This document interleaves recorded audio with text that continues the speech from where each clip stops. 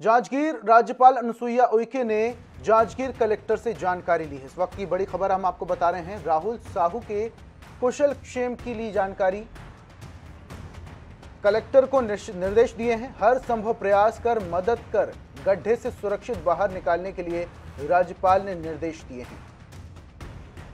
इस वक्त की बड़ी खबर जांजगीर से हम आपको बता रहे हैं, जहाँ पर राहुल साहू 10 साल का बच्चा है, जो बोरवेल में गिर गया। और उसे बचाने की कवायद शुरू हो चुकी है। 24 घंटे से ज़्यादा का वक्त हो गया है जब राहुल गड्ढे में गिरा हुआ है। बोरवेल से उसे सुरक्षित बाहर निकालने की कवायद शुरू है। मुख्यमंत्री भूपेश बघेल पल पल की अपडेट ले रहे हैं किस तरीके से एनडीआरएफ और एसडीआरएफ की टीम उसे सुरक्षित बाहर निकालने की कवायद में जुटी है। और इसके बाद आज राज्यपाल ने भी उसे सुरक्षित निकालने के लिए निर्देश दिए हैं। राज्यपाल अनुसुईया उइके ने जांजगीर कलेक्टर से जानकारी ली कि आखिर किस तरीके से राहुल को बाहर निकालने की कवायद शुरू हुई है। हर संभव प्रयास कर मदद कर गड्ढे से बाहर निकालने की कवायद शुरू की है। राज्यपाल अनुसुईया उइके ने कलेक्टर से जानकारी ली।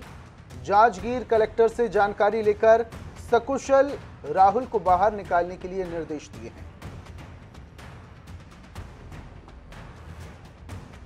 एसडीआरएफ और एनडीआरएफ की टीम लगातार राहुल को बचाने की, सुरक्षित निकालने की कवायद में जुटी हुई है। बोरवेल के ठीक बाजू में 60 फीट से ज़्यादा गहरा गड्ढा कर जेसीबी की मदद से खुदाई की जा रही है और उस एक टनल बनाकर उसे सुरक्षित बाहर निकाला जाएगा।